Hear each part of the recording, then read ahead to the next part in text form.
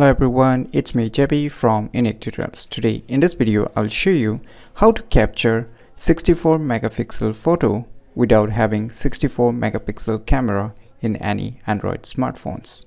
So without any further more delay, let's begin. So first of all what you need to do, you need to open the Play Store. In the Play Store you need to search for one application named as Camera Super Pixel as you can see here just search this application. You can see here camera super pixel just tap on it. As I've already downloaded and installed it so I'm not going to do it again. So you download and install it firstly. So after installing just tap on open. On opening the application for the first time you can see its user interface. So here you can see three dot icons in the right bottom. Just tap on it. And you can see your settings and some options.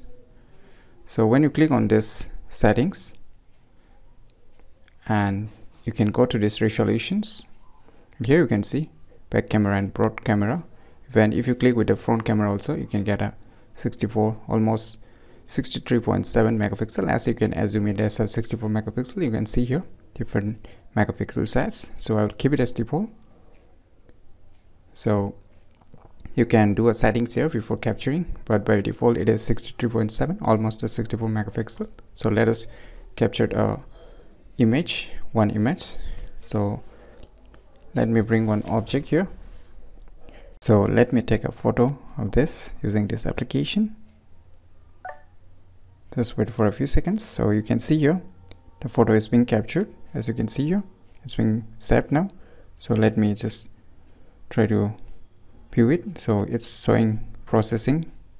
Just wait for a few seconds. So finally it's processed. So let's try to view its informations. How much megapixel it is. So you can see here resolution is 63.7 megapixels. So it is almost a 64 megapixels picture that I have just captured using this application. But the truth is that in my smartphone the smartphone which I'm using is having only 16 megapixel primary camera. So using these applications you can capture 64 megapixel photo without having 64 megapixel camera in any Android smartphone. So you can see here I'm using Nokia 6.1 plus. So you might clearly know that Nokia 6.1 OnePlus has only a 16 megapixel primary camera. So using these applications you can get such kind of huge megapixels photo in any of your Android smartphones. So if you never known about these cool applications then download it today and try it out. And the good thing is that it's totally free of cost so what are you waiting for? So download it today and try capturing 64 megapixel photo without having 64 megapixel camera in any Android smartphones. So if you find this video tutorial useful, click on the thumbs like button and if you're new to our channel, click on the subscribe button and lastly, thanks for watching.